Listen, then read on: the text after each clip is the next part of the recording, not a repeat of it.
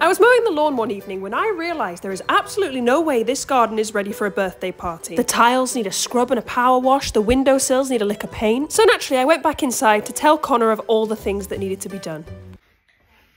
So he got to work with a big bag of grass seed and strategically placed every single one while Cozy and I watched. But then I thought it was only right that we did something, so we had a little look in the garden mirror. I then wondered whether I could get a tree swing to fit on this branch. But then the part we all dreaded, the stables, which unfortunately tend to be a very big eyesore. I mean, it would be great if he was having a haunted horse party, but I'm not quite sure it fits the duck narrative, so I think we'll have to leave that for another day. Subscribe to Wish Us Luck.